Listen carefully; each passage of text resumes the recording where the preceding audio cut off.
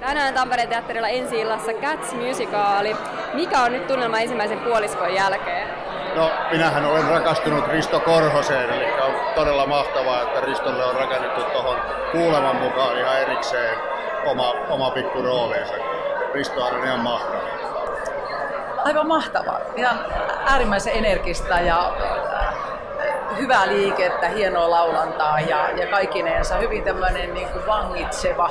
Mä oon nähnyt kaksi kertaa aikaisemminkin, mutta tota, ja sitä kautta niin kuin teos on tuttu. Mutta joo, on, on sellainen kyllä, että hyvin intensiivinen. Tämä on intiimimpi selkeästi. Jotenkin tuntuu, että ollaan niin lähellä näitä kissoja ja tätä kissojen maailmaa. Ja se sopii mun mielestä hirveän hyvin, koska, koska isommissa paikoissa täytyy tietysti ajatella ja kuvitella, että kissat viihtyy pienissä koloissa ja jotenkin näin. Niin nyt me ollaan jotenkin ihanasti yhteistä tilaa. Mä oon tämän aikoina nähnyt New Yorkissa ja sitten Lahdessa myös. Ja täytyy sanoa, että tämä on aika upea ohjaus ja nämä tanssit on upeat.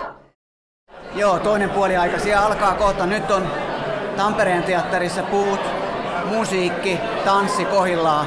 Siellä on special kestaa Risto Korhonen. Panee parastaan, että ei kun vaan. Kohti toista puoliaikaa. Mikä on nyt tunnelma Kätsin ensi illan jälkeen? Siis mähän olen allerginen kissoille. ei, siis hiki tuli melkein katsomossa, että huikeeta toimintaa tuolla, tuolla lavalla ja tietysti aika meni myös siinä, että yritti tunnistaa ketä kaikkia siellä on. Aika monta tuttua. Tunnelmahan on todella tyytyväinen. Tässä on nähty erittäin onnistunut musikaaliesitys, suorastaan show. Hienoja tanssinumeroita, hienoja numeroita ylipäätään toisessa ja hyvässä balanssissa.